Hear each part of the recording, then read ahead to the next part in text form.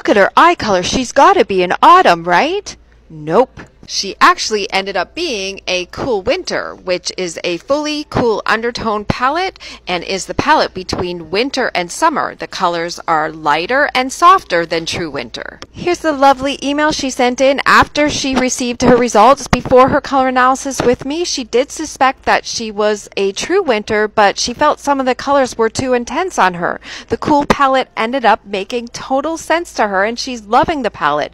Her next step is to go back to her natural natural hair color, which is a dark, cool brown.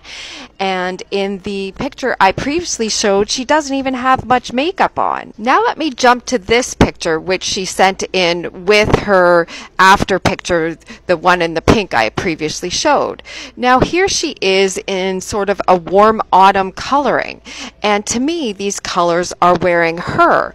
And so while you may look at this and go, wow, that burnt orange matches her eye color, what it doesn't do is match her skin. So you sort of look at the fabric, then jump to her eyes, and don't really look at her. I will also add, and I say this with so much love, when someone's in colors that aren't in harmony with them, sometimes the colors appear clown like on their skin. And when I look at this picture, the colors appear a bit clown like.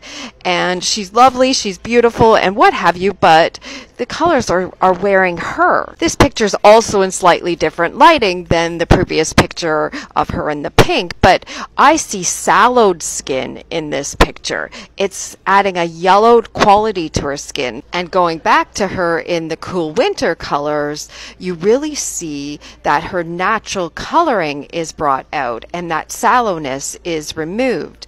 Everything looks in harmony and really she does have natural fair skin and the colors here are really accentuating the vibrancy of her natural coloring. Yay, cool winter for this client. I wish I had my pom-poms with me. I would be waving them wildly for you. I'm so excited about your cool winter color analysis journey. Right now, I'm still on the Abraham Hicks cruise and the bench I'm sitting on is not doing anything for my coloring. It's way out of harmony with my true summer colors.